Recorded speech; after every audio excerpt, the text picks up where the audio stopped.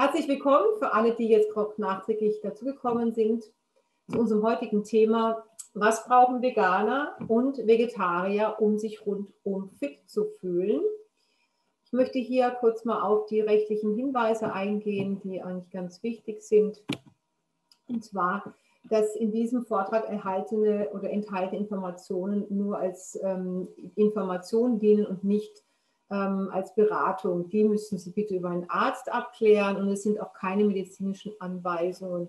Ebenso ist der Inhalt äh, nur zur Wissensvermittlung gedacht und nicht mehr als eine Wissensvermittlung auf dem heutigen Stand. Bitte gehen Sie entsprechend äh, zu Ihrem Therapeuten oder zu Ihrem Arzt, wenn Sie ganz konkrete Angaben benötigen.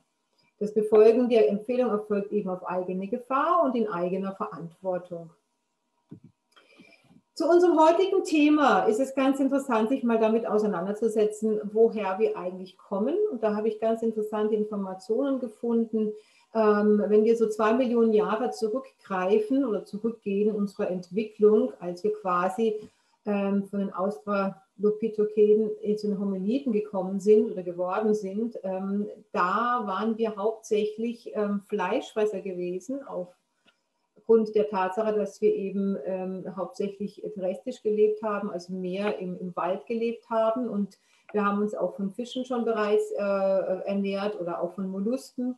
Und das ist wichtig auch äh, im Hinblick auf die Entwicklung des Gehirnes, weil durch die dort enthaltenen Omega-3-Fettsäuren wir tatsächlich einen sehr großen äh, Sprung gemacht haben, was jetzt die Gehirnentwicklung anbelangt hat. Die hat sich nämlich tatsächlich verdoppeln können, allein durch die eine Fettsäure DHA, die eben hauptsächlich in diesen Mollusken vorliegt und die zu 60 Prozent unseres Gehirnes ausmacht.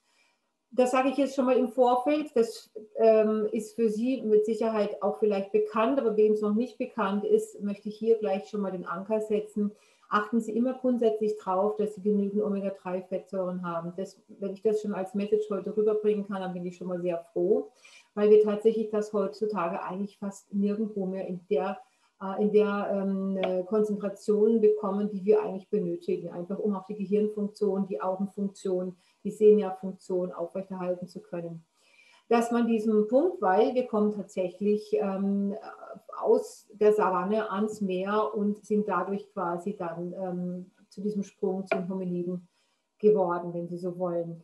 Als dann auch ähm, in, diesem, in dieser Zeit sozusagen ähm, noch viele Bienen vor, vorhanden waren, was ja leider heutzutage nicht mehr so der Fall ist, muss man ehrlicherweise sagen, hat sich also unser Vorfahrer auch wirklich von Bienen, von Bienenhonig und den darin vorhandenen Larven oder auch Proteinverklumpungen von dem Harz, was, was ja die, die Bienen bauen, ernährt, was also eine gute Quelle für Proteine, aber auch für Fette bereits war und natürlich klar bis zu 95 Prozent hat der Honig natürlich Zucker, Zuckerverbindungen. Und da hat sich der, unser Vorfahrer seine Kohlenhydrate mehr oder weniger hergeholt.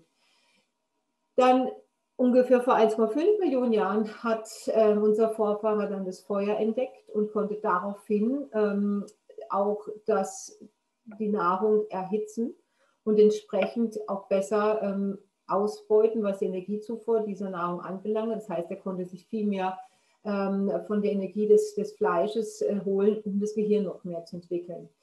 Es ist aber trotzdem nicht gesichert, ähm, ob wir jetzt hauptsächlich, ähm, sagen wir mal, Omnivoren sind, also die, die alles fressen, weil es gab in der Evolution auch ähm, Teilentwicklungen, äh, die sich zum Beispiel nur von Aas äh, ernährt haben oder die sich äh, zum Beispiel nur von, äh, von Knollen und von, von äh, Gemüse und so weiter, was da halt, Gemüse kann man noch nicht nennen, aber zumindest mal von dem, was da wuchs, ernährt haben. Und also muss man einfach konkret sagen, im Grunde ist unser Gebiss für sowohl Fleisch, ähm, Protein aus dem Fleisch als auch Faserstoffe und so weiter ähm, gut ausgebildet, sodass wir eigentlich alles essen könnten.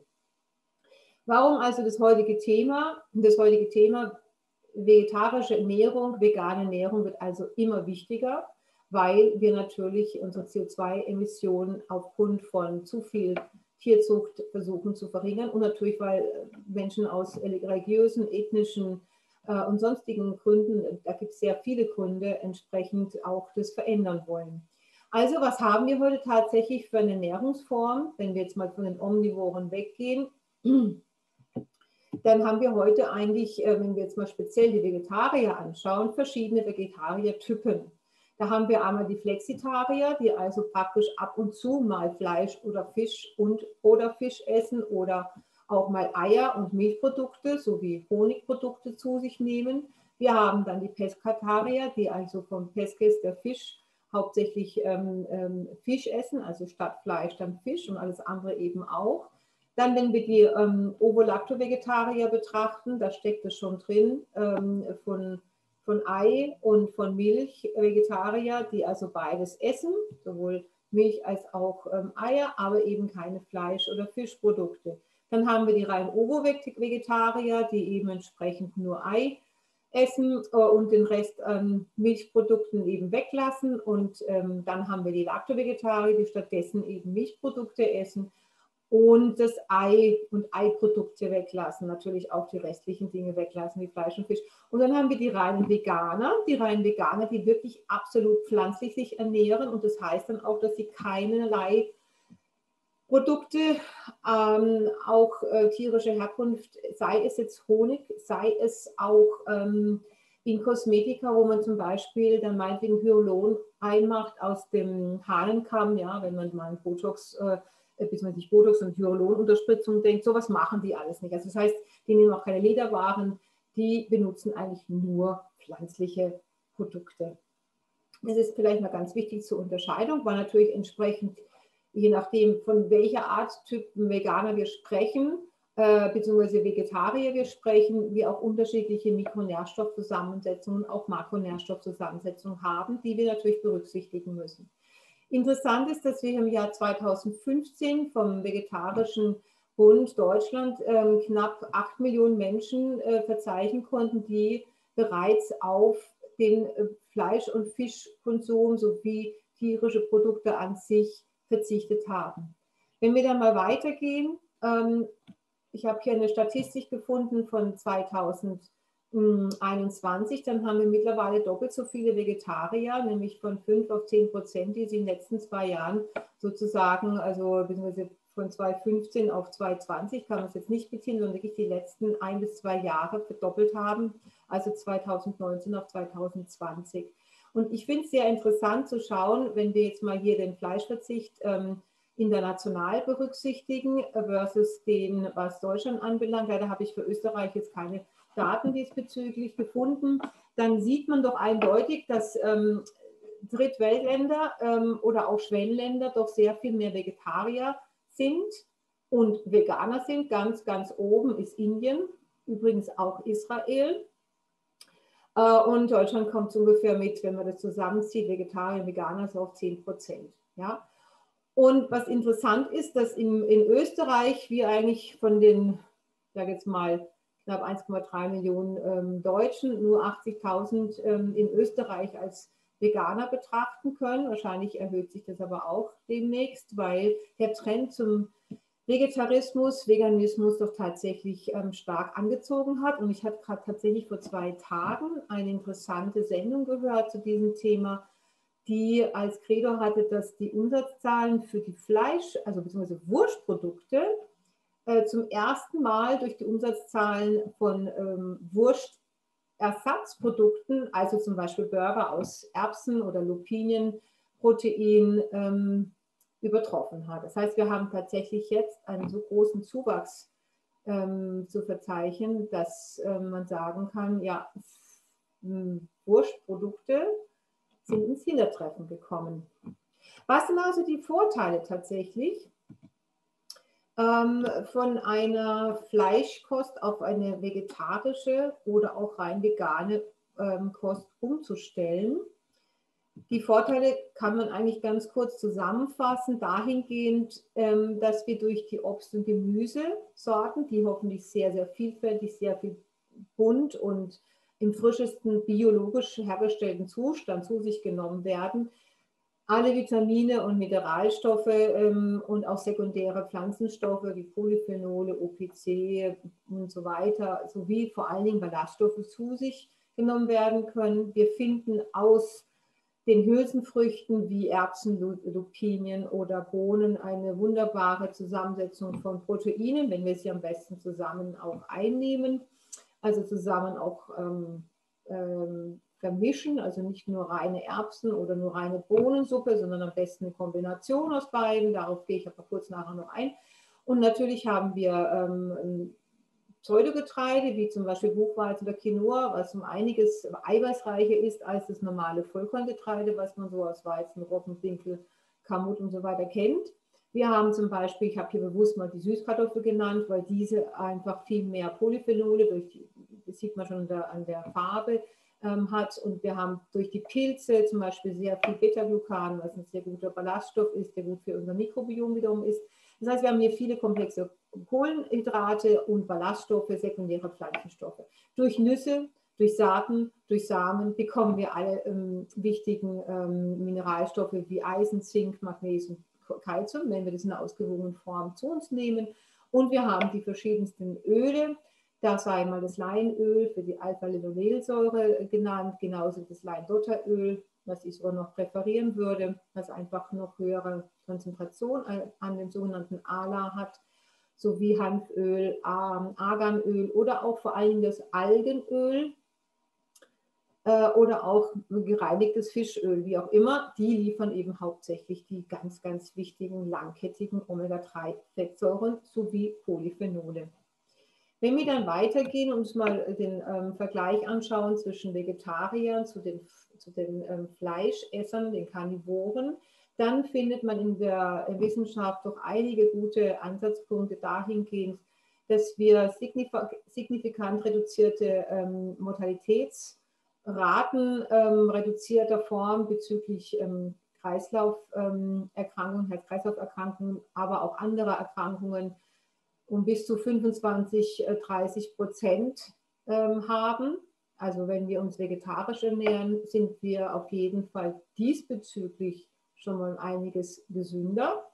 Wir haben eine geringere ähm, Prävalenz von Bluthochdruck und von äh, Übergewicht, auch viel weniger Adipositas, ähm, also schweres Übergewicht findet sich bei Vegetariern. Wir haben ein halb so hohes Risiko für einen Typ-2-Diabetes und wir haben auch eine viel geringere Prävalenz bezüglich Krebserkrankungen. Und in einer Studie, die ähm, gerade mal vor zwei Jahren ähm, veröffentlicht worden ist, konnte man eben das hier auch nochmal ganz deutlich zeigen. Hier hat man auch gesehen, dass eben der Unterschied zwischen Veganern und Vegetariern doch nochmal deutlicher ist. Also die Veganer haben bis zu 19 Prozent reduziertes ähm, Krebsrisiko, äh, Vegetarier ungefähr bis zu 11 Prozent. Und hier natürlich auch ein geringeres Risiko für allerlei Arten von chronischen Erkrankungen ähm, und insgesamt eine, eine geringere Sterbewahrscheinlichkeit, wenn man sich vegetarisch oder vegan ernährt.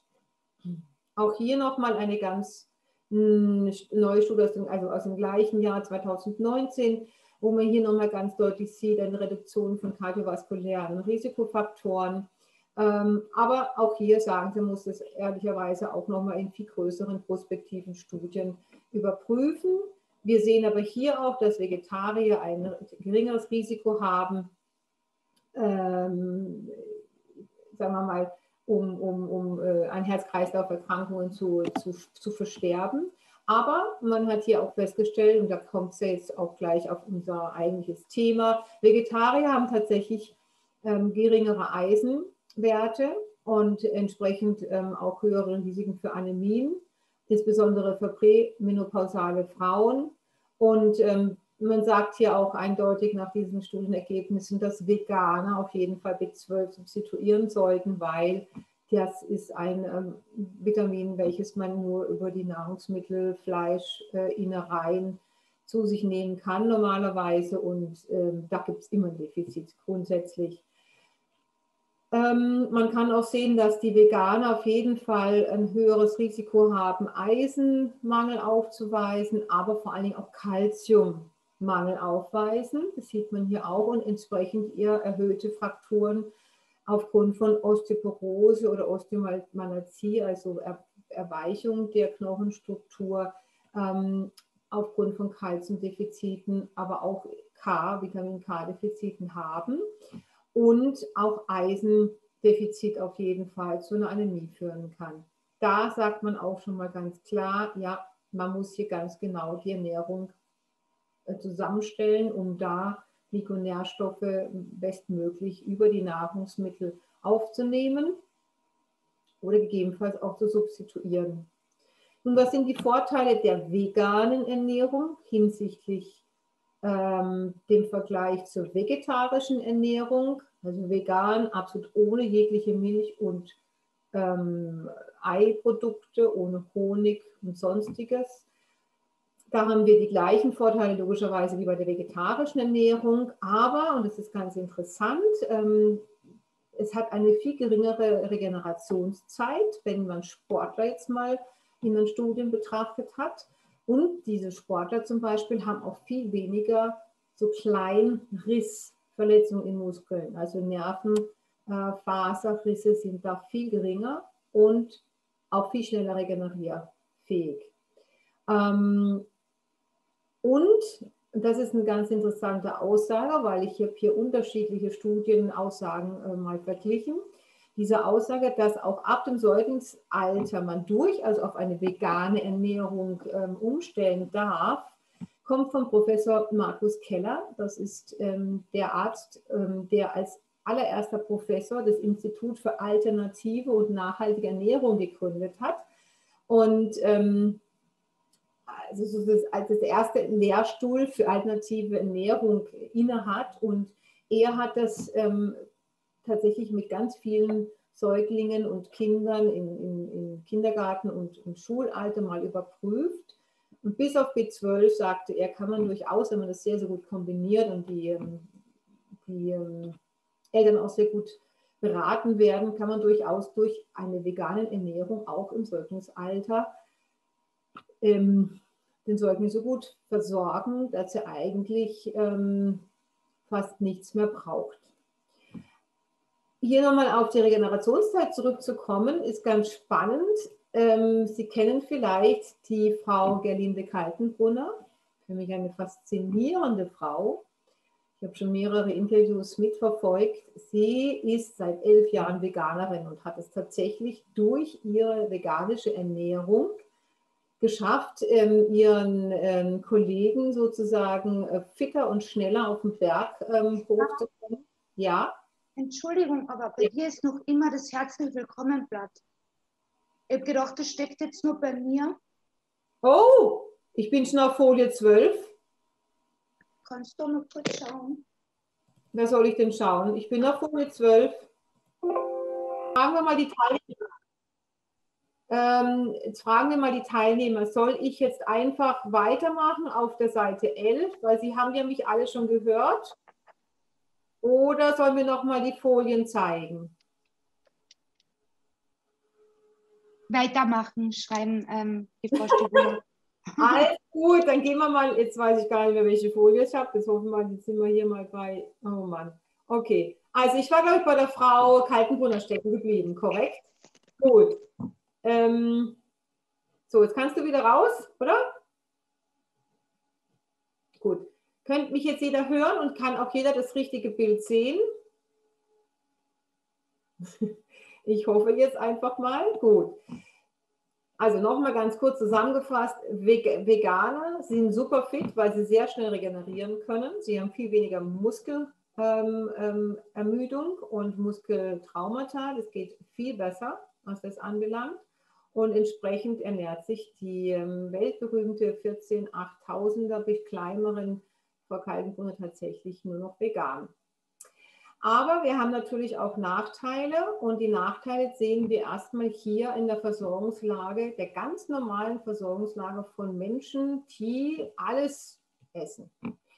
Das bedeutet, dass wir hier einfach schon mal eine Versorgungslage zwischen Mann und Frau, äh, also zwischen den Geschlechtern unterschiedlich haben. Insbesondere was die Frauen anbelangt, ähm, sehen wir, dass die, weil sie sich meistens besser um die Gesundheit ähm, kümmern, zwar einen besseren Status haben an Vitamin D im Verhältnis zu Männern, aber sie haben zum Beispiel, wenn wir jetzt mal hier hingehen, zu, zu Zink einen schlechteren Status und natürlich auch ähm, beim Eisen, was man hier erkennen kann, was hier, ähm, was hier eigentlich ganz interessant ist, ähm, also hier gibt man eigentlich an, wie viel Prozent der deutschen Bevölkerung im Grunde nicht die Normwerte erreicht. Und die Normwerte sind ähnlich wie in Österreich ähm, relativ niedrig. Das heißt, ein sehr großer Anteil der Damen hat hier zu wenig Vitamin D oder zu wenig Folat. Also wenn man hier bei 90 Prozent, bei fast 90 Prozent Folat, also Folsäure anschaut, dann sieht man, dass die Versorgungslage sehr schlecht ist, insgesamt betrachtet. Und wenn wir jetzt mal noch weitergehen und das Ganze nochmal auf Veganer und Vegetarier ähm, aufdröseln wollen, dann erkennen wir, dass wir insbesondere das Eisen, weil wir ja keine Fleischzufuhr haben, insbesondere Omega-3, also gerade auch bei den Veganern, äh, einen großen Defizit haben, sofern sie es nicht supplementieren. Es ist immer alles bezogen auf Nicht-Supplementierung. Wir haben starken Jodmangel, weil diese beiden hier bedienen sich natürlich Omega-3 und Jod dadurch, dass wir keinen Fisch essen oder auch keine Meeresfrüchte per se. Wir haben zu wenig Selen, wir haben zu wenig Zink, zu wenig Kalzium, habe ich vorhin schon gesagt, bei den Veganern, weil sie auch keine Milchprodukte mehr essen. Ähm, wir haben auch Vitamin B2-Mangel und wir haben auch einen B12-Mangel. Das ist ganz, ganz elementar, der B12-Mangel, gehe ich nachher noch drauf ein. Und auch das Vitamin D. Dann insgesamt aber auch haben wir einen Mangel an Mikronährstoffen wie Bor, Chrom und Magnesium, die unter anderem ähm, für alle gelten. Äh, Magnesium ist bei Vegetariern meistens nicht so das Problem, weil wir das durch die dunkelgrünen Gemüsesorten sehr gut eigentlich haben. Aber wir haben auch öfters mal einen Mangel an K2. Das hat zum Beispiel ähm, der Professor Keller, von dem ich vorhin sprach, Professor Dr. Markus Keller, auch ganz schön in einer sogenannten Gießener äh, veganen Ernährungspyramide mal zusammengestellt. Also quasi Veganer essen. Können Sie gerne auch mal nachschlagen. Hm. Wichtig ist einfach zu wissen, dass wir viele Mikronährstoffe haben, die jetzt nochmal bezüglich der verschiedenen Vegetariertypen aufgegliedert sind und dann entsprechend sich auch hier ähm, widerspiegeln, wenn, wenn wir eben entweder Ernährung noch mit, mit Eiern und Milch haben, dann haben wir eine andere kritische Nährstoffversorgung, wie wenn wir jetzt zum Beispiel die Lacto-Vegetarier anschauen. Aber wie man erkennen kann, eigentlich ist es immer das Gleiche. Es fehlt B12, es fehlt Eisen, es fehlt Zink, aber auch gutes Eiweiß. Man darf nicht vergessen, das Eiweiß ist super wichtig, auch für jede einzelne Zelle, für jeden Zellbaustein und insbesondere auch fürs Immunsystem. Und oftmals haben wir bei Vegetariern und Veganern eben hier nicht ausreichend Eiweißversorgung, sondern mehr eine kohlenhydratlastige ähm, Ernährung. Das heißt, es birgen sich verschiedene Risiken, sowohl für Vegetarier als auch Veganer, insbesondere die ähm, Anämien, einmal aufgrund des Eisens, aber auch aufgrund des B12-Mangels, ähm, aber auch aufgrund des Folsäuremangels durchaus. Ja, wenn das nicht alles vorhanden ist, können wir da einfach verschiedene Typen von Anämien, also Blutarmut bekommen. Ähm, Hypotonie, ganz deutlich. Ähm, Osteoporose hatte ich vorhin angesprochen, aufgrund von Kalziummangel, insbesondere bei den Veganern. Aber auch, weil wir zu wenig, Homo, äh, zu wenig B12 haben äh, und auch vielleicht zu wenig Folsäure haben, insbesondere auch hier einen erhöhten Homozysteinspiegel. Und wie Sie wissen, ist das ja im Grunde unser, unser ähm, Gift für die Arterien und entsprechend auch ein hoher Homozysteinspiegel ist meistens mit Herz-Kreislauf-Erkrankungen, Arteriosklerose, Schlaganfall und so weiter ähm, vergesellschaftet. Also hier muss man einfach insbesondere aufpassen. Dann haben wir vorhin auch schon ge gehört, dass die Veganer wirklich erhöhte Risiken für einen Knochenbruch haben, bis zu 43 Prozent, die ich in einer ganz neuen Studie entdeckt. Das heißt, umgerechnet auf 1000 ähm, Menschen, die betrachtet werden, ist ein 2,3-fach erhöhtes Risiko. Und dann insbesondere auch noch dann, wenn Veganer sehr dünn sind, was meistens eher der Fall ist. Veganer sind meistens eher schlangere Menschen als normal sich ernährende Menschen. Ähm, aber ganz wichtig, Frauen, die sowohl ein Kind erwarten wollen, also sprich noch nicht schwanger sind, aber sich schon vegan ernähren müssen, aufpassen, dann wenn sie schon schwanger sind und vor allen Dingen danach in der Stillzeit, weil wenn sie hier nicht supplementieren mit den wichtigen Nährstoffen, dann kann es zu einem sogenannten Kleinwuchs kommen, ja, aufgrund ähm, Kretinismus zum Beispiel, wenn zu wenig Jod vorhanden ist dann, ähm, und die Schilddrüse nicht richtig funktioniert. Dann ganz wichtig, es kann ähm, Verhaltensstörungen ähm, nachbleibende ähm, geben, es kann geistige Behinderung geben, es kann bis zu einer Hirnatrophie kommen, es kann zu Fehlbildungen kommen, es kann zu bleibenden, irreversiblen neurologischen Schäden beim Kind kommen, es geht sogar bis zum Tod. Ähm, insbesondere bei vegan sich ernährenden Schwangeren. Das heißt, Veganer sind im Verhältnis zu Vegetariern eher mangelversorgt. Und wir haben hier ähm, verschiedenste Studien, die ich hier einfach nochmal zeigen wollte. Ähm, insbesondere ähm, B12, Hämoglobin, Ferritinspiegel sind niedrig im Vergleich zu Nicht-Veganen. Und wir haben hier wieder ähm, das Problem, dass wir das durch eine vegane Ernährung einfach so per se, was jetzt die wichtigen Mikronährstoffe und Vitamine D und B12 und auch Omega-3 anbelangt, nicht abgedeckt werden können. Die Deutsche Gesellschaft für Ernährung sagt auch, man darf auf keinen Fall vegan sich ernähren, wenn man schwanger ist und auch für Kinder und Jugendliche Heranwachsende sollte man keine vegane Kost eigentlich zu sich nehmen. Das sei an dieser Stelle schon mal gezeigt. Eine interessante Koststudie ähm, äh, von äh, Kindern im Alter von 5 bis 10, von denen so 63 ähm, vegetarisch, 52 vegan und 72 ähm, Allesesser sind da konnte man eindeutig sehen, dass wir hier ähm, insgesamt ähm, geringere Knochen, Knochenmasse, also Bone ähm, Mass ähm, äh, und, und Größe ähm, im Vergleich zu Omnivoren, also alles Fressern, tatsächlich nachweisen konnten. Eine ganz neue Studie, jetzt im Juni 2021 rausgekommen ähm, von der American Society for Nutrition. Ähm, auch hier nochmal eine Studie, die sagt, ähm, wenn man also Nahrungsergänzungsmittel nimmt, also Supplemente zu sich nimmt oder auch ähm, Nahrungsmittel, die angereichert sind, zum Beispiel hauptsächlich ist es in den USA, aber auch in vielen anderen Ländern der Fall. Da ist es wirklich so, dass äh, Margarine, das Milch, das ähm, Butter und so weiter mit Vitamin D, mit verschiedenen anderen fettlöslichen Vitamine angereichert sind, die eben defizitär normalerweise in der Bevölkerung vorliegen. Ich selber kenne das noch aus meiner Studienzeit in den USA vor über 30 Jahren. Da hatte ich immer alles angereichert, schon damals gefunden. Das ist bei uns in Deutschland nicht Pflicht, das ist tatsächlich nur ähm, optional. Dennoch kann man erkennen, dass wir eigentlich hier tatsächlich Menschen, ähm, die befragt worden sind, sehr aufgeschlossen gegenüber Vitaminsupplementen vorfinden. Also knapp 84 Prozent nehmen tatsächlich Vitaminsupplemente in dieser doch relativ großen ähm, Stichprobe von knapp 2000 Menschen, die hier ähm, äh, überprüft worden waren. Das ist eine Studie von 2018 wieder von dem Professor Keller gemacht und dass auch eben entsprechend ähm, angereicherte Nahrungsmittel verwandt werden. Ähm, ich hatte ja schon gesagt, dass der Herr Keller sehr viel an Kindern auch ge, äh, geforscht hat und er konnte eigentlich hier sagen und feststellen, dass wenn die Kinder ähm, im Grunde gut versorgt werden, ähm, nach Anpassung der Rezepte, also Rezepte bezüglich, äh, was kombiniert man mit was und genügend gute Eiweiße, Mineralstoffe, Vitamine, dem Kind zur Verfügung zu stellen, dann kann eigentlich die, die Referenzwerte von Deutschland, Österreich und Schweiz für die Nährstoffzufuhr erreicht oder sogar überschritten werden.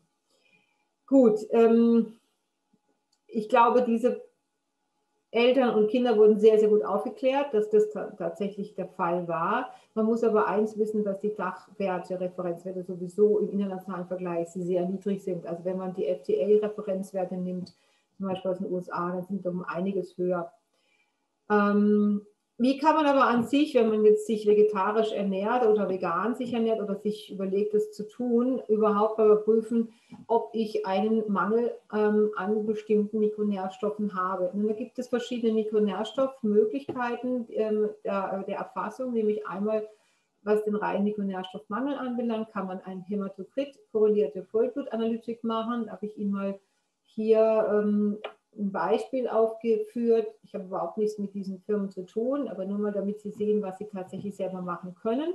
Da können Sie ein kleines Blutbild machen lassen. Sie können auf Jod, Mineralstoffe aus verschiedenen B-Vitamine, Ferritin und so weiter ähm, das mal überprüfen lassen. Wenn Sie jetzt nur mal den B12-Mangel direkt anschauen wollten, dann ist es immer ähm, korrelierend mit dem Holotranscobalamin und der Methylmalonsäure, die Sie überprüfen müssten. Ähm, und natürlich auch den Homozysteinstatus. Ist der hoch, haben wir einen B12-Mangel und auch entsprechend hier ist es ähm, angezeigt, dass Sie hier was tun müssten. Ähm, man sollte zum Beispiel diesen Mikronährstoff, Veggie für vegetarisch, vegan, ähm, einmal im Jahr mindestens machen. Wenn man schwanger ist, würde ich das auch jedes halbe Jahr, also beziehungsweise in dem Fall dreimonatlich machen, damit wir wirklich eine bestmögliche Versorgung sowohl für die Mutter als auch fürs Kind haben. Ähm, und zusätzlich gibt es den ähm, Omega-3-Index, den der Professor Scharke ja ins Leben gerufen hat, wo man hier das Verhältnis zwischen Omega-3-Fettsäuren und Omega-6-Fettsäuren überprüft. Der sollte bei mindestens 8 liegen, besser noch bei 11. Ähm, und die allerwenigsten Menschen erreichen überhaupt 2, was schon was sehr niedrig ist. Was ganz wichtig ist, nämlich ist das Eisen beim bei, einem Pflanzen, bei einer pflanzlichen Kost, weil ohne Eisen gibt es keine optimale Sauerstoffversorgung. Sie wissen, dass Eisen über ähm, das Hämoglobin gebunden wird und entsprechend mal in jede Zelle kommen.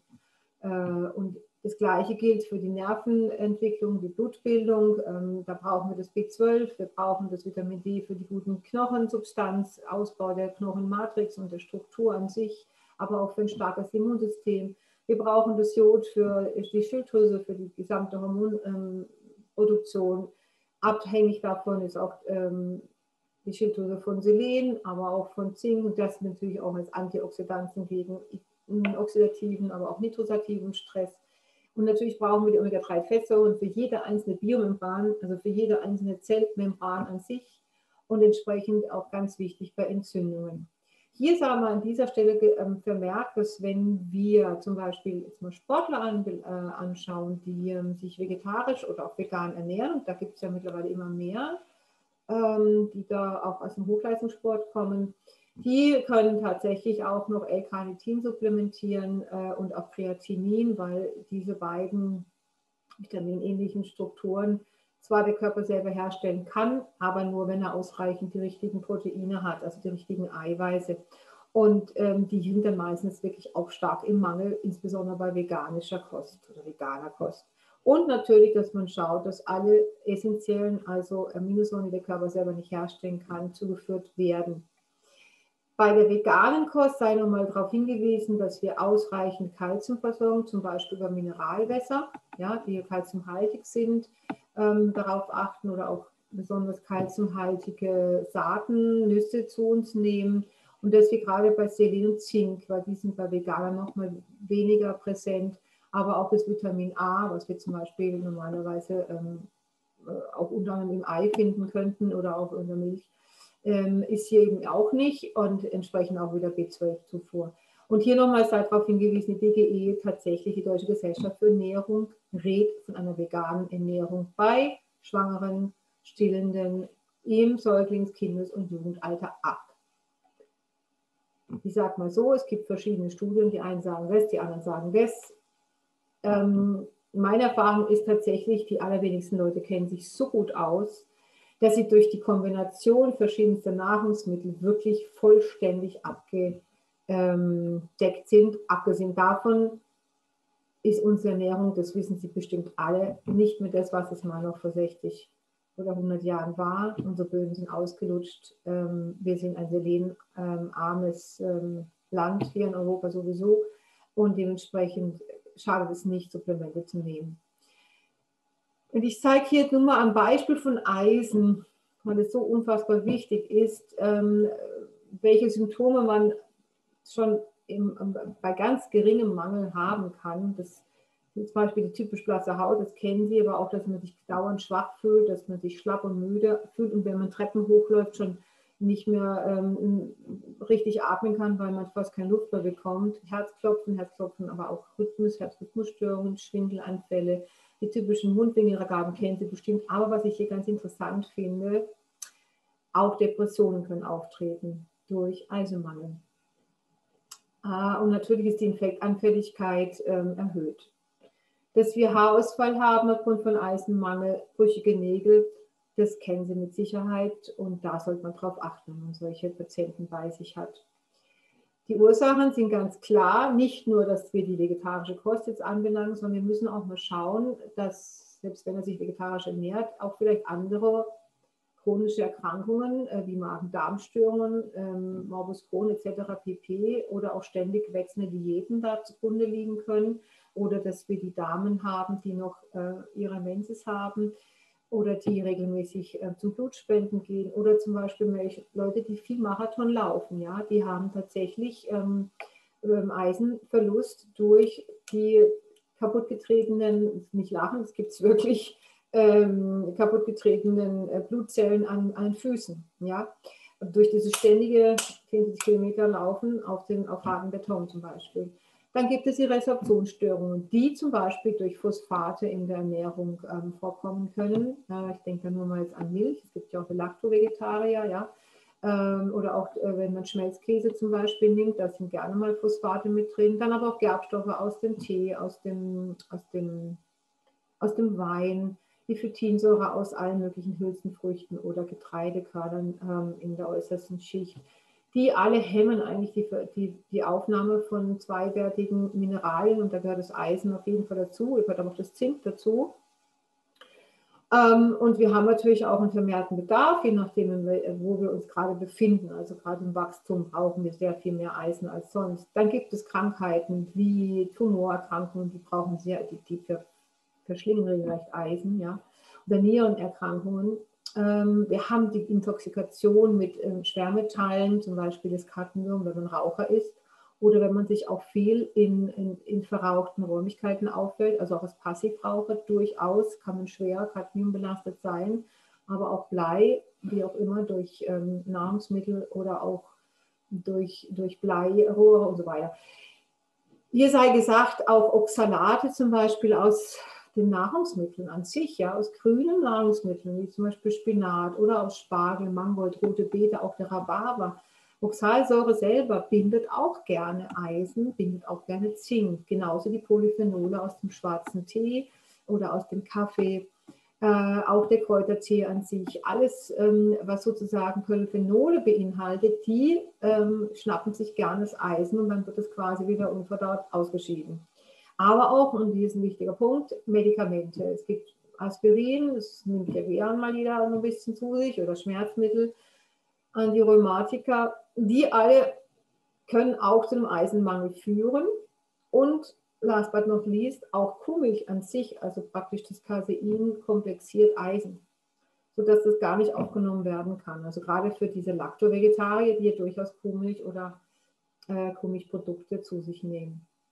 Hier mein Beispiel aus einer ganz neuen Studie von diesem Jahr, die da zeigt, dass eben die Phytate, also das Phytinsäure, das ist das Salz der, der, der also Phytat ist das Salz der Phytinsäure, tatsächlich die Eisenresorption hemmt und zwar ähm, bis zu 70 Prozent und bei Zink sind es bis zu 35 Prozent. Ähm, wenn man jetzt betrachtet die reine pflanzliche Kost, ja, äh, im Vergleich jetzt zu Menschen, die alles essen, also auch Fleisch essen, haben wir tatsächlich hier eine viel geringere Aufnahme. Abgesehen davon haben wir auch ähm, äh, Eisen im Fleisch ähm, in einer anderen Wertigkeit vorliegen als in der Pflanze, sodass also das schon mal viel schlechter aufgenommen wird aus der Pflanze. Das muss man einfach auch wissen. Und entsprechend ähm, sollten also hier ähm, Vegetarier auch sich supplementieren. Und trotz, dass eben auch äh, Vegetarier sich supplementieren, wurden hier Eisenverluste ähm, notiert. Ja? Also es ist ganz wichtig, dass man sich da wirklich regelmäßig einmal im Jahr mindestens auch einen, äh, eine Diagnostik macht, wie die Zusammenhänge der Mineralstoffe in meinem Blut sind. Wir haben gesagt, Eisen ist wichtig für Sauerstoffübertragung, aber auch für die Bildung der Erythrozyten. Und es äh, ist also sehr wichtig für den Energiestoffwechsel und für den Gehirnstoffwechsel. Ebenso wie fürs Immunsystem und für jede einzelne Zellteilung. Ich habe jetzt hier in grün immer wieder mal ein paar Informationen gegeben zum Thema, was können Sie selber aus der Ernährung zu sich führen, um in dem Fall zum Beispiel sich gut mit Eisen auch zu versorgen. Das sind so ähm, Pseudogetreide wie Amaranth, Quinoa zum Beispiel, aber vor allem Sesam, Sonnenblumenkerne, Pinienkerne, aber auch die Mandeln und auch die ähm, Proteinzufuhr durch Hülsenfrüchte wie ähm, Kidney Beans oder Linsen oder Kichererbsen. Die in der Kombination, also all das sind praktisch täglich zusammen, gibt nicht nur Eisen, gibt auch Zink, äh, äh, ermöglicht auch andere Mineralienaufnahme und insgesamt, wenn Sie jetzt praktisch Eisen besser verfügbar machen wollten, den Körper, dann sollten Sie das grundsätzlich mit ähm, sauren Obst, saurem Gemüse, also wirklich sauer, welches viel Vitamin C beinhaltet, wie zum Beispiel Kohlsorten, wenn sie nicht erhitzt werden, ähm, oder auch mit einem Orangensaft ähm, zu sich genommen werden, dann haben sie eine viel bessere Eisenresorption.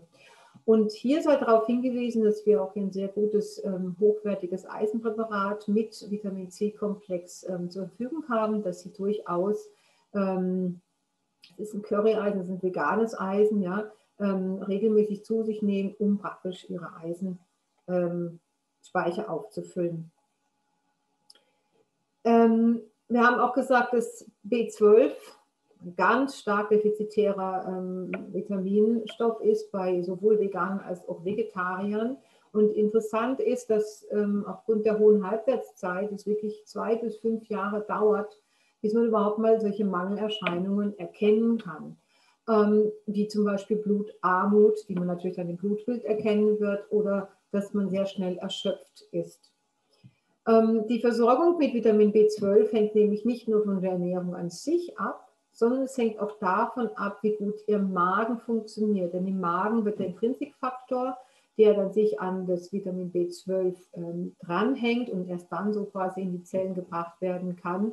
Äh, und wenn dieser Magen aufgrund von zum Beispiel einer tropischen Gastritis, unter der zum Beispiel an die 60 Prozent der über 65-Jährigen in Deutschland leiden, also das ist eine große Zahl, ähm, dann wird Vitamin B12 nicht gut aufgenommen oder so gut wie gar nicht aufgenommen. Da kann ich also so viel wie möglich B12 geben, es wird aber nicht aufgenommen. In so einem Fall müsste man wirklich dann intramuskulär ähm, injizieren, das B12. Und das wird bei, häufig bei älteren Herrschaften äh, und Damen auch tatsächlich gemacht. Und zwar regelmäßig wirklich gemacht. Hier ein kleiner Tipp für die, die sich vegetarisch, vegan ernähren, gibt es die Möglichkeit durchaus, zumindest mal B12 durch die Grünalge. Bitte nicht die Blau, Blaualge, weil die hat ein anderes B12, das nicht vom Körper aufgenommen wird. Also die Grünalge, zum Beispiel die Chlorella pyrenoidosa aufnehmen, äh, täglich einzunehmen, dann haben Sie hier eine gute B12-Quelle. Interessant ist, dass der Professor Markus Keller, von dem ich vorhin sprach, auch eine Zahnpasta entwickelt hat, die tatsächlich B12 enthält und über die, ähm, über die Saliva, über den Speichel tatsächlich direkt aufgenommen werden kann. Ist aber nicht so sinnvoll, weil man gerne auch erstmal verschluckt, ja, und dann hat man wie das gleiche Problem, wenn der Magen nicht genügend Intrinsikfaktor produziert, dann kann ich mein B12, was ich dann jetzt schlucke, über die Zahnpasta nicht unbedingt aufnehmen. Aber wenn man hier sagen wir, regelmäßig putzt, hat man trotzdem in einer, in einer, in einer Studie festgestellt, äh, immerhin 2019 doch relativ neu, dass tatsächlich bei älteren Herrschaften sich in einer randomisierten doppelblind placebo-kontrollierten Studie ähm, man eine Erhöhung der Vitamin B12 im Blut erkennen kann. Ja, und das finde ich schon beachtlich. Und man muss sich einfach informieren. Ähm, man kriegt hier auf jeden Fall ähm, die Informationen auf dieser Seite. Das ist dieses Institut für diese alternative Ernährung, die er gegründet hat in Gießen. Finde ich eine schöne Sache. Ähm, zusätzlich können Sie sich aber auch, ähm, was jetzt zum Beispiel ähm, anbelangt, ähm, wenn, wenn der, der, Darm nicht so richtig gut funktioniert, müssen Sie natürlich auch mehr B-Vitamine zu sich nehmen, damit die Darmmucosa wieder gut aufgebaut wird. Und da empfehle ich wirklich ähm, einerseits das B12 sublingual zu nehmen. Ja, das haben wir hier in Tropfenform schön dosiert und kombiniert, wenn Sie jetzt zum Beispiel jemanden haben, der schon einen sehr hohen Homozysteinwert hat, dann brauchen Sie mehr B-Vitamin und dann können Sie hier auch das Komplex B-Vitamin geben, wo Sie unter anderem B6, B12, B1 und so weiter mit drin haben, weil die Kombination nimmt dann der Körper besser auf. Ein guter Tipp für B2, wenn Sie viel Pilze oder Nüsse oder Brokkoli mögen, das in der Kombination liefert Ihnen schon mal viel B2. Bitte nicht erhitzen, roh essen.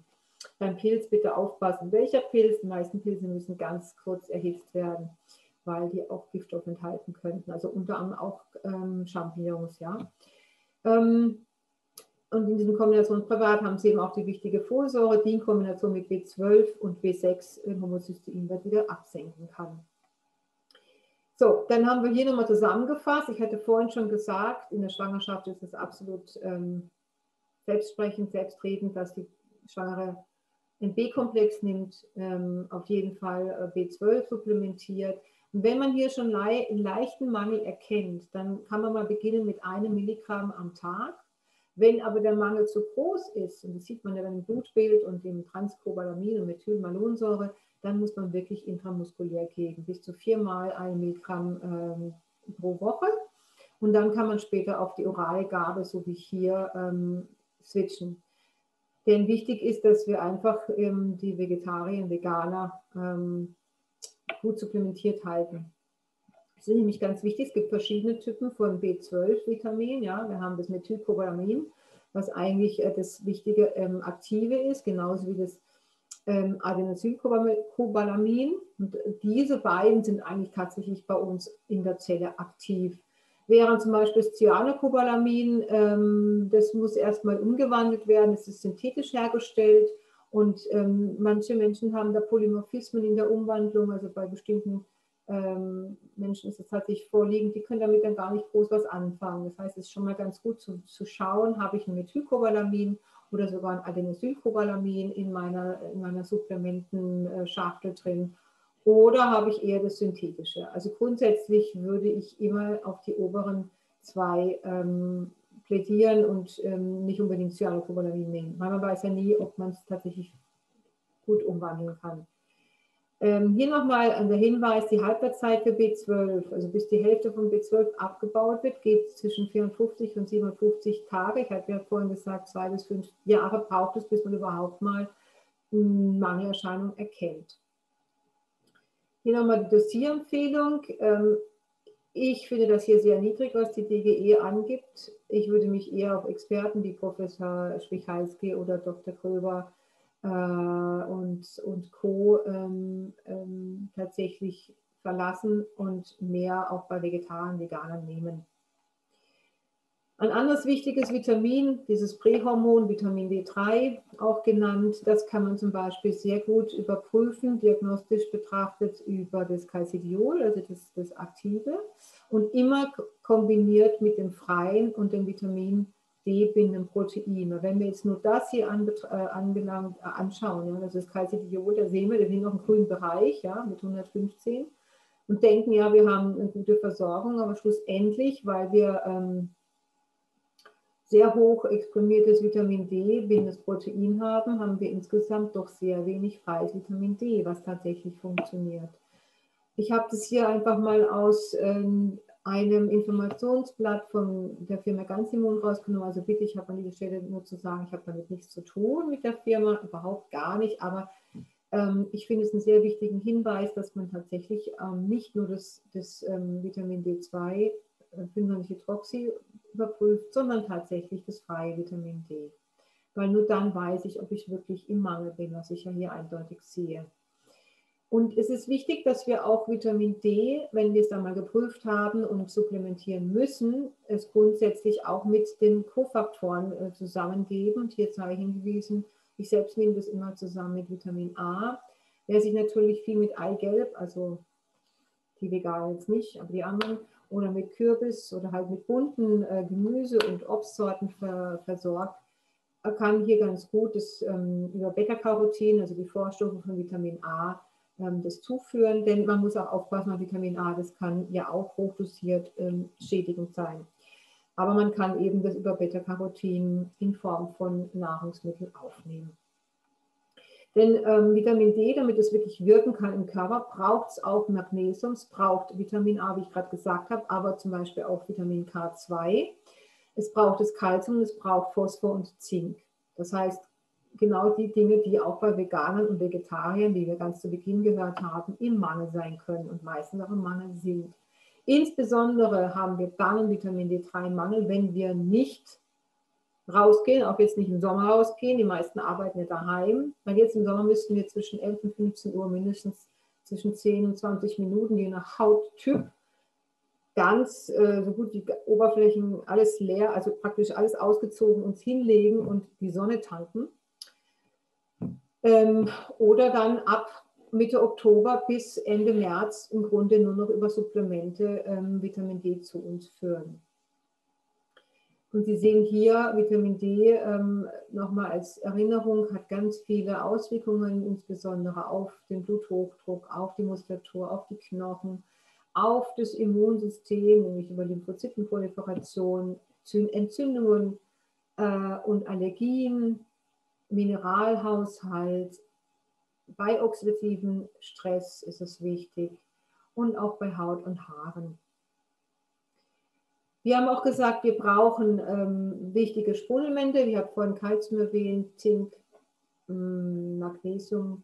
Wir haben hier ein wunderschönes Präparat, was ich selber auch täglich einnehme, ähm, welches eine, eine Kalziumalge ähm, beinhaltet, und zwar eine, die bis zu 94 Prozent Kalzium beinhaltet.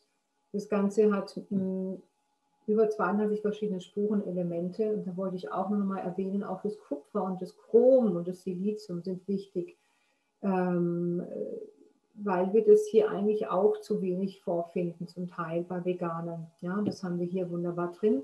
Auch hier nochmal darauf hingewiesen, das Eisen ist mikroverkapselt, damit es noch besser dem Körper zugeführt werden kann. Und wenn wir also das regelmäßig nehmen, am besten morgens, mittags, abends, immer so ein kleines bisschen, ein kleiner halber Löffel oder einen großen Löffel einmal am Tag, dann sind Sie da schon mal sehr gut mit Mineralien, Spurenelementen versorgt. Und zusätzlich können Sie sich auch aus allen Arten von Kohlsorten und ähm, Bohnen, aber auch Mandeln, Sesam haben viel Zink zum Beispiel, äh, oder auch fermentiertes Soja für das gute Protein, wir haben auch mineralienhaltiges Wasser, ja, was ausgewiesenerweise viel Kalium, äh, äh, Kalium, Calcium, Magnesium, Kalium manchmal auch drin hat, aber auch zum Beispiel getrocknete Feigen und Datteln.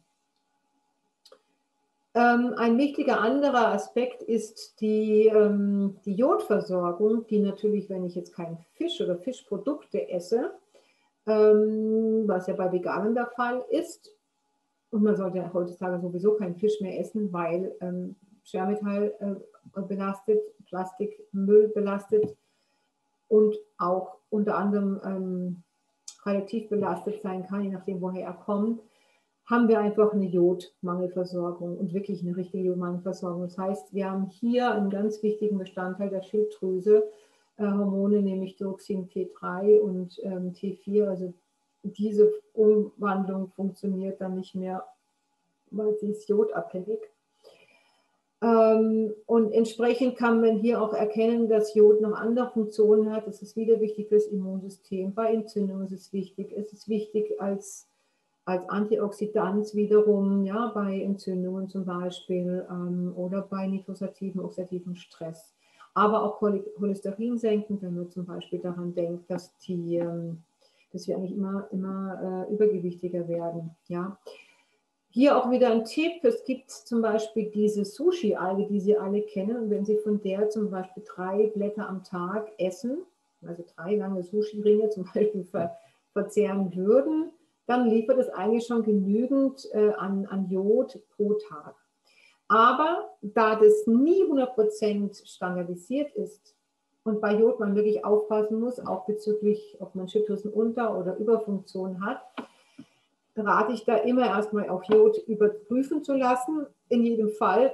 Mm, und natürlich auch die Schilddrüse überprüfen zu lassen und auf jeden Fall über Jodsupplemente mein Jod aufzufüllen. Und zum Beispiel aus der Kelbalge, die aus dem Meer stammt, die wir hier in der Kombination mit, dem, mit der Vorstufe von Thyroxin, nämlich das L-Tyrosin, diese Aminosäure, in einer wunderbaren Zusammenstellung haben.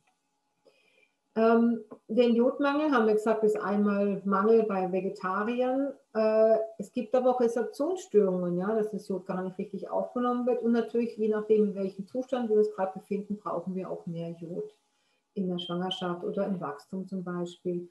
Und wenn das nämlich nicht der Fall ist, dass die Schwangere genügend Jod hat, dann kann es zum Beispiel zu einem angeborenen Struma kommen, das dann zu Fehlgeburten, zu Totgeburten oder zu Wachstumsstörungen kommen kann.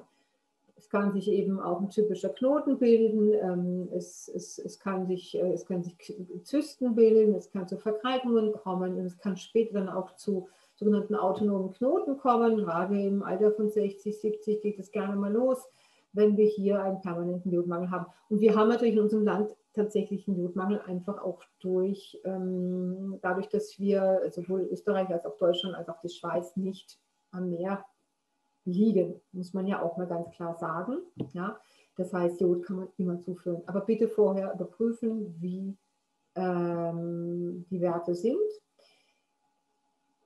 Ja, und ähm, jetzt ein ganz wichtiger Aspekt, den ich ganz zu Beginn schon gesagt habe, wenn Sie sich nochmal an die Gehirnentwicklung zurückerinnern wollten, wo ich gesagt habe, dass allein unser Gehirn aus ähm, 60 Prozent aus der Docohexaensäure, der DHA-Säure besteht. Also mehr als die Hälfte unseres Gehirns besteht aus Fett.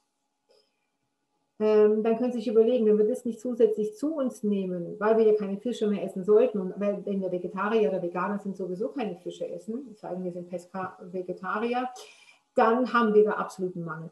Ja? Und wenn wir den haben, ähm, den Mangel, dann kann sich unser Gehirn nicht richtig ausbilden und dann kann sich zum Beispiel auch der die Myelinscheiden der Nervenummantelung nicht richtig ausbilden. Dann gibt es viele verschiedene Kognitionsausfälle, Leistungseinbußen, Entzündungen und so weiter und so fort. Das heißt, wir haben hier ähm, auf jeden Fall eine Zufuhr von Omega-3 auch als Supplement zu machen und oder auch als Algenöl, weil das ist die Vorstufe im Grunde zu jedem Fischöl. Der Fisch hat nur deswegen Omega-3, weil er natürlich Algen filtriert, sonst hätte er das ja auch nicht. Interessant ist, dass das Algenöl viel mehr von dem DHA hat im Vergleich zum EPA, während das Fischöl mehr EPA hat, das mehr bei Entzündungen wirkt, als das DHA. Die Kombination ist am besten immer mit den Vitaminen, die ähm, fettlöslich sind, zu nehmen. Also ich würde immer kombiniert Omega-3 zum Beispiel mit bisschen Hanföl, mit bisschen Fischöl, mit bisschen Algenöl zusammenmischen und dann noch kurz ein Tröpfchen von Vitamin D dazu, wenn es sei denn, Sie sind jetzt im Sommer viel draußen, zwischen 11 und 15 und dann brauchen Sie es womöglich nicht. Wenn Sie aber viel drin sitzen, auch im Sommer, dann sollten Sie auf jeden Fall auch D, aber auch Vitamin E, K und A supplementieren. Aber bitte immer, ich sage es hier nochmal an dieser Stelle, immer erstmal vorher überprüfen, bevor Sie irgendwas supplementieren. Weil wir wissen, wenn wir nochmal auf die Omega-3-Fettsäuren zurückgehen, haben wir hier auch eine ganz, ganz neue Studie von diesem Jahr im April, dass wenn wir ähm, regelmäßig ähm, Omega-3-Fettsäuren in Form von ähm, DHA oder, oder EPA und oder zu uns nehmen, dann haben wir einfach viel weniger kardiovaskuläre ähm, Erkrankungen, weniger Krebserkrankungen und andere Erkrankungen. Ja, und äh, insgesamt sagt man hier, ähm, sind die Marinen, also die aus Fischölen, haben sie hier überprüft, Omega-3-Fettsäuren ähm, ähm, mit einem viel geringeren Risiko für einen vorzeitigen Tod assoziiert. Das ist doch schon mal eine tolle Aussage und das ist sehr neu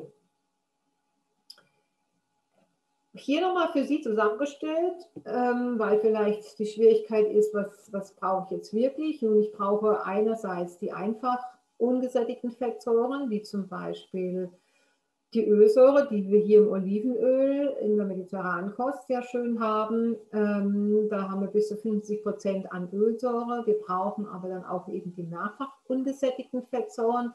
Hier insbesondere, wie gerade eben erwähnt, die Omega-3-Fettsäuren.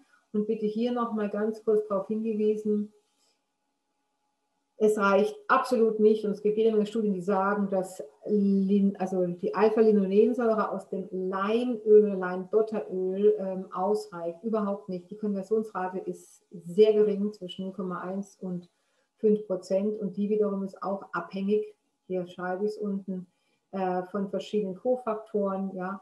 Ähm, und die Umwandlung ist einfach viel zu gering. Das heißt, Sie sollten auf jeden Fall natürlich schon auch Alpha-Linolensäure zu sich nehmen, weil die auch wichtig ist für andere Stoffwechselprozesse. Die finden wir zum Beispiel neben dem Leinsamen auch in Walnüssen ähm, und deren Öle. Sie sollten aber auf jeden Fall Omega-3 immer auch in Form von ähm, weder Fischölkapseln, wie gerade gezeigt, oder von verschiedenen Ölen aus diesen Algen oder aus Fischen zu sich nehmen. Entsprechend Omega-6 ist auch wichtig, ja. Ähm, aber das wird meistens bis zu 20 Mal so viel zu sich genommen im Verhältnis zu 3, zu Omega-3. Und ähm, eigentlich sollte man ein Verhältnis haben, Omega, ähm, äh, Omega-6 zu Omega-3 ähm, von 3 zu 1. Ich habe gerade gesagt 20 zu 1, manchmal sogar 30 zu 1 hat man schon gemessen, was extrem viel ist. Abgesehen von den ganzen Transfetten, die ja hier gar nicht aufgeführt sind, aber die sehr schlecht für uns sind. Und die leider Gottes gerade bei Vegetariern, die gerne so, naja, sich so, ähm, also die Lacto-Vegetarier, sich gerne so Pizzen rein, reinziehen oder irgendwas mit, mit, mit erhitzten ähm, Ölen sich frittiert reinziehen, die haben halt einen ganz schlechten Omega-3-Index normalerweise und auch noch einen hohen hohe Konzentration an Transfetten, die wiederum sehr schlecht im Körper sind. Dann haben wir noch einen ganz wichtigen Punkt, wie ich am Anfang schon sagte, wir brauchen alle acht essentiellen Aminosäuren, weil ohne Aminosäuren, diese acht, ähm, können wir keine Immunzellen aufbauen, können wir keine Zellteilung äh, vonstatten führen. Wir können eigentlich, wir brauchen einfach Aminosäuren, um Proteine aufzubauen. Und ähm, was ich mal hier nochmal sagen wollte, ist ganz wichtig äh, dahingehend, dass essentielle Aminosäuren eigentlich mh, mm, nur verfügbar sind, wenn man sie tatsächlich Supplement, also wirklich gut verfügbar bis zu 100 Prozent fast, wenn man sie tatsächlich separat einnimmt und zwar äh, in einer Kapselform. Weil wenn man zum Beispiel mal sich das Hühnerei anschaut, dann haben wir hier nur 48 Prozent der eigentlichen Stickstoffverwertungsmöglichkeit, also nicht mal die Hälfte. Und wenn man zum Beispiel, das was ja viele Menschen zu sich nehmen, Weizenprotein, äh, also Molkenprotein oder Sojaprotein oder Milchprotein, dieses Casein, was ja abgesehen davon sehr äh, viel zu Immun, Autoimmungeschehnissen führen kann, dann haben wir eine sehr schlechte Protein Zufuhr oder beziehungsweise eine schlechte ähm, Netto-Stickstoffverbrauch oder Utilisation. Ja? Also das heißt, es ist auch ähm, nicht dahingehend damit ge ähm, genügend, dass man sagt, wir haben eine hohe ähm, Bioverfügbarkeit, sondern wir müssen schauen, haben wir die Aminosäuren oder haben wir wirklich Protein. Das Protein selber muss ja auch erst wieder abgebaut werden in Aminosäuren. Wir haben hier das Amino 8. Wir haben hier tatsächlich einen sehr, sehr hohen verfügbaren Stickstoffbeitrag. Ähm, und je höher dieser NNU-Wert ist, desto höher ist die Verwertbarkeit der Aminosäuren in unseren Nahrungsproteinen bzw. in Eiweißkonzentraten, die man ja so als Shakes zu sich nimmt. Hier nochmal ein Überblick von guten ähm, veganen Proteinquellen. Ja, also wer auch zum Beispiel kein, keine Molke zu sich nimmt. Ähm, das Beste tatsächlich ist das von Sojabohnen. Ich persönlich bin absolut kein Fan von Soja. Wenn überhaupt, so dann nur in einer fermentierten Form, nämlich als Tempeh äh, oder Natto.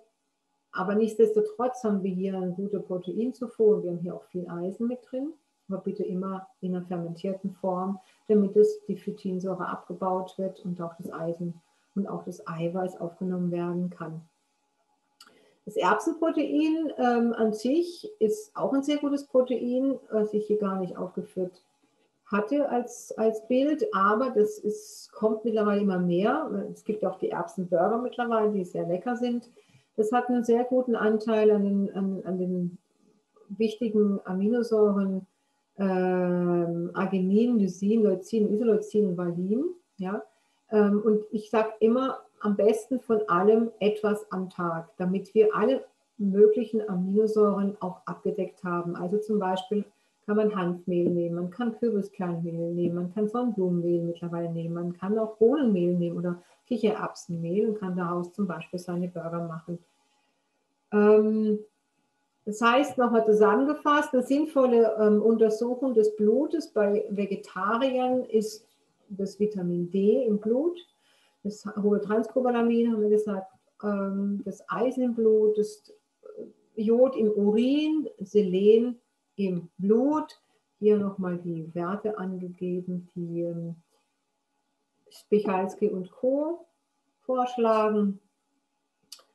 Ähm, eine sinnvolle Tagesdosierung für Veganer oder Vegetarier ist, oder mehr, mehr oder weniger für Vegetarier eigentlich hier, und die Veganer können sich dem anschließen, sind ähm, hier nochmal aufgeführt. Ähm, da kennen Sie mit Sicherheit auch bei Vitamin D mit Sicherheit auch höhere Einheiten. Je nachdem, ob Sie noch irgendwelche ähm, chronischen Erkrankungen zum Beispiel haben, trotz Vegetarismus ähm, sollten Sie hier natürlich auch entsprechend nochmal höher gehen. Aber das muss man eben alles überprüfen. Ähm, bei den Omega-3-Fettsäuren sage ich bis zu 2 Gramm. Also ich würde hier viel höher gehen. Nicht nur 700 Milligramm, sondern wirklich 2 Gramm inklusive DHA und EPA.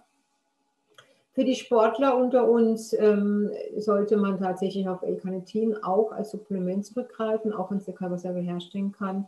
Und das Kreatinin ebenso, weil die bringen Energie. Ja, L-Carnitinin ist nämlich tatsächlich bei der Hälfte der Veganer zu wenig. Ja, das hat man in verschiedenen Studien äh, beobachten können. Und entsprechend hat man hier auch eine viel geringere ähm, Energiegewinnung aus den Fettsäuren, weil L-Carnitin ist unser Carrier, der das Fett im Grunde in die Zellen bringt. Und dementsprechend, wenn wir zu wenig von L-Carnitin haben, dann versackt das Fett irgendwo, ob das jetzt in Muskulatur ist oder ob das jetzt äh, in der Leber äh, bleibt. Auf jeden Fall, ähm, wenn man vegan sich ernährt und außerdem deswegen auch noch äh, Sport macht ähm, und eben entsprechend mehr L-Carnitin auch braucht, dann sollte man wirklich überprüfen, ob man das gegebenenfalls unterstützt ähm, als Supplement gibt. Bitte hier aber auch immer noch mal nachprüfen. Ähm, es gibt es in Pflanzen als auch in Tieren, am besten aber eben tatsächlich aus tierischer Herkunft ähm, verfügbar. Genau wie auch das Eisen, genau wie auch das Zink. Ähm, oder man achtet darauf, dass man eben sehr äh, gut sich mit Lysine, Methionin, mit den Vorstufen dieses L-Carnitins, diesen beiden Aminosäuren und deren Kofaktoren hier versorgt, dann hat man hier auch eine gute L-Carnitin-Produktion ähm, eigen, eigener Synthese. Entsprechend nehmen Vegetarier viel weniger auf am Tag, weil sie ja eben das aus Nahrungsmitteln Pflanzenherkunft machen müssen, im Vergleich zum Mischköstlern, die haben fast zehnmal so viel dieses aufnehmen können.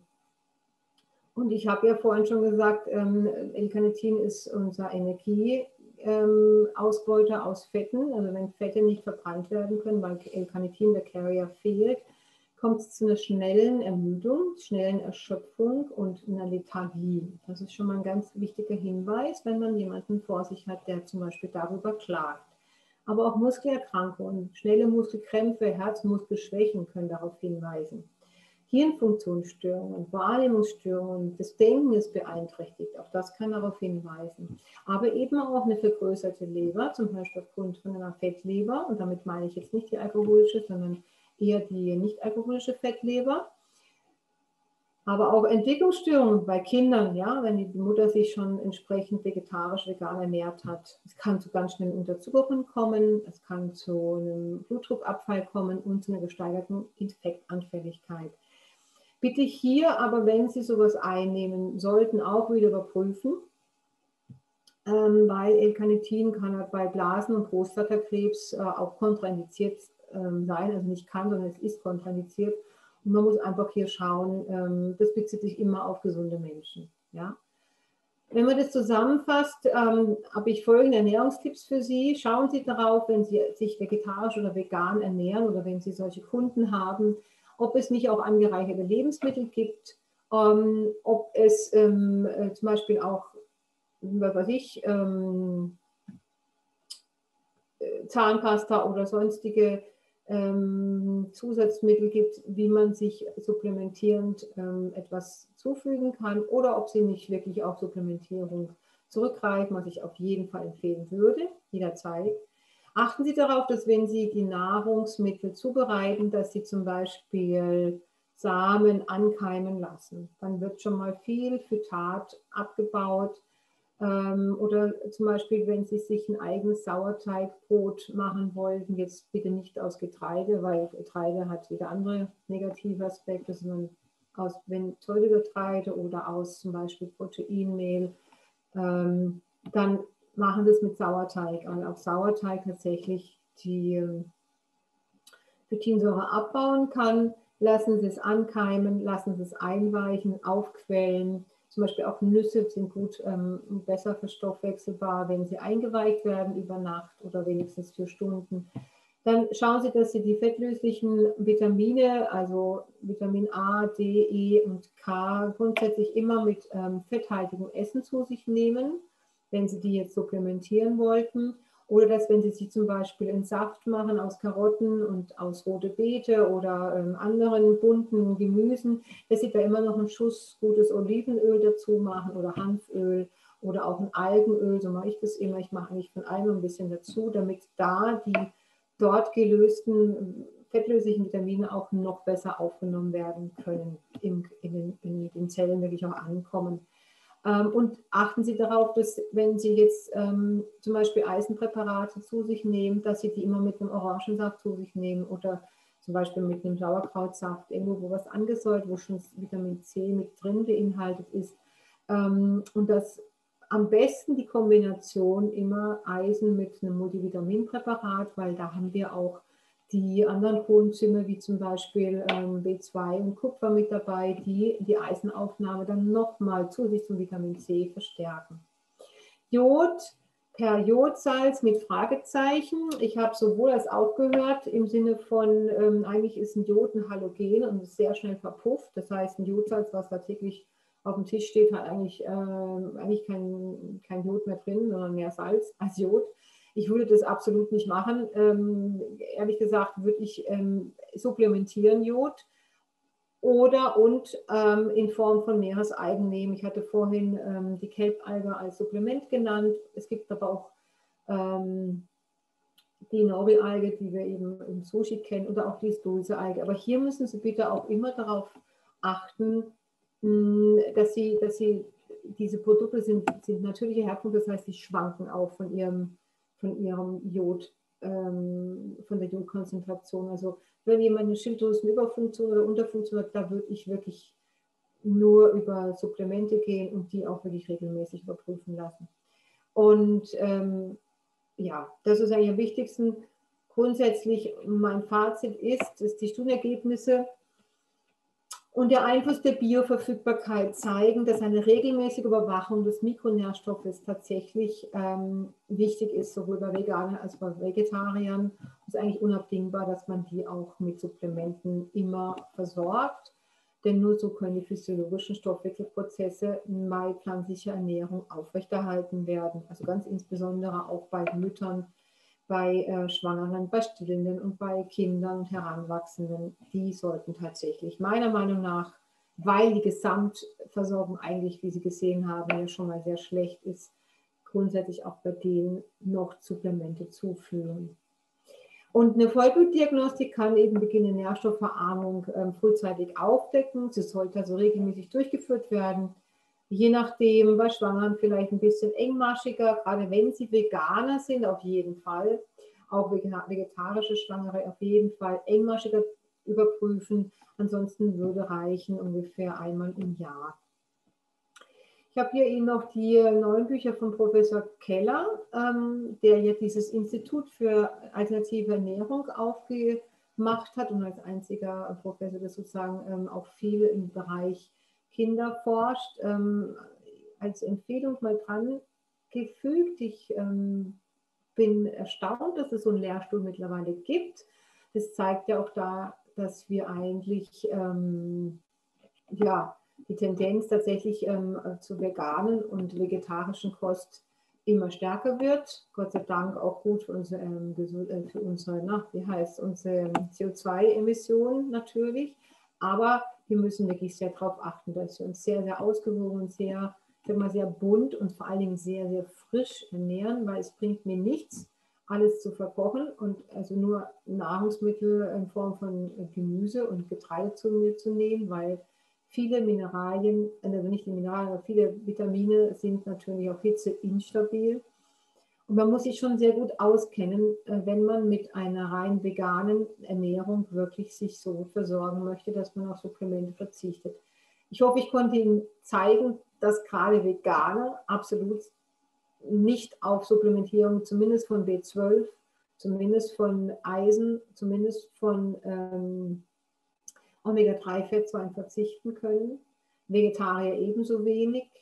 Die sind ein bisschen besser in der, Supplement, äh, in der Mikronährstoffaufstellung. Ähm, Aber grundsätzlich gilt, ähm, bevor Sie sich entscheiden, zum Beispiel zu Vegetariern zu werden oder zu Veganern zu werden, wirklich mal zu prüfen, wie ist momentan ähm, die Mineralstoffversorgung, wie ist die Vitaminversorgung, wie ist die Omega-3-Versorgung und dann nach entsprechend sich gut informieren. Es gibt sehr, sehr viele gute Bücher da draußen, auch was Sie wie zusammen kombinieren können, damit Sie viel gutes Protein, die essentiellen Aminosäuren zu sich führen. All dieses ist wirklich ähm, wichtig, damit Sie sich gut und rundum ähm, ausreichend versorgen können mit Nährstoffen. Ich danke Ihnen auf jeden Fall, dass Sie bis jetzt zugehört haben. Ähm, ich hoffe, dass jetzt noch ein paar interessante Fragen kommen.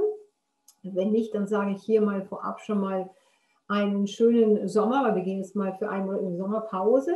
Also der August äh, wird, glaube ich, jetzt erstmal kein Webinar stattfinden. Und in diesem Sinne wünsche ich Ihnen alle mal einen wunderschönen sonnigen Sommer, hoffentlich ohne wenig äh, oder mit nur sehr wenigen Regengüssen, wie es jetzt bislang der Fall war. Und bleiben Sie gesund. Und jetzt freue ich mich noch auf Ihre Fragen für diejenigen, die noch dabei bleiben möchten. So, liebe Doreen, bist du eingeschaltet? Ja. Hallo. Die Frau Inke hat früher schon geschrieben, ähm, wie weiß man, ob der Magen B12 aufnehmen kann? Ich habe kein Wort verstanden. Bitte nochmal deutlicher, bitte. Wie? Wie weiß man, ob der Magen B12 aufnehmen kann?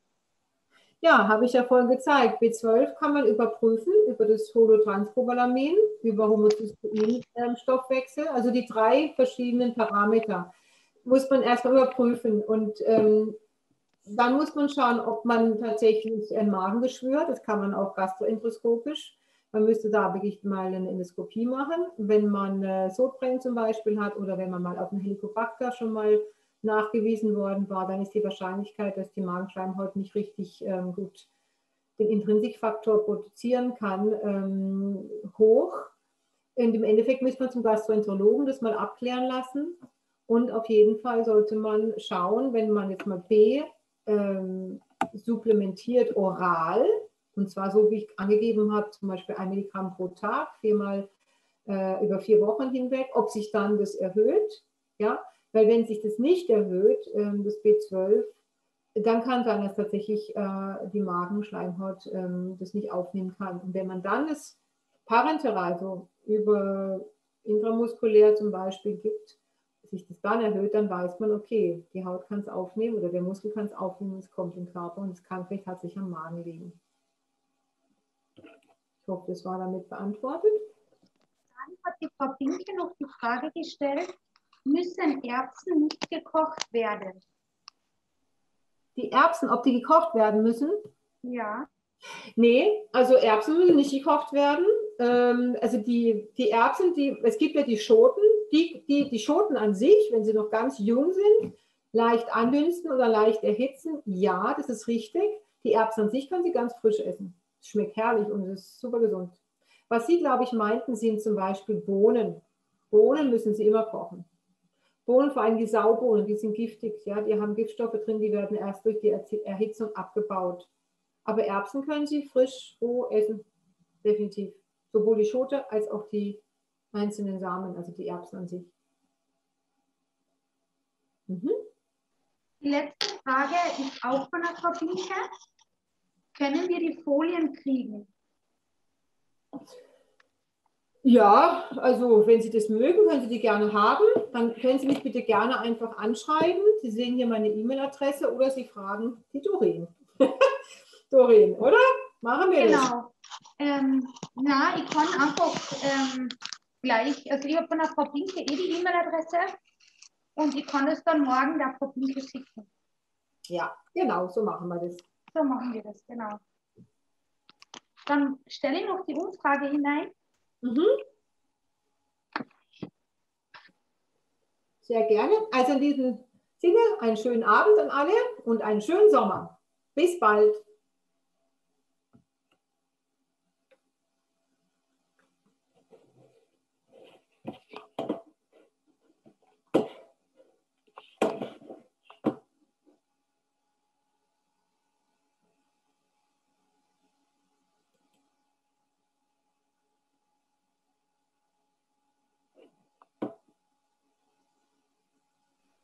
Dann wünsche ich dir einen schönen Abend. Ja, herzlichen Dank. Du sag mal, ähm, wir sind jetzt offline, ne? Jetzt können wir wieder. Nein, Ah, okay, dann re- wir telefonieren nachher, gell? Bis dann. Ja, danke, tschüss. Tschüss.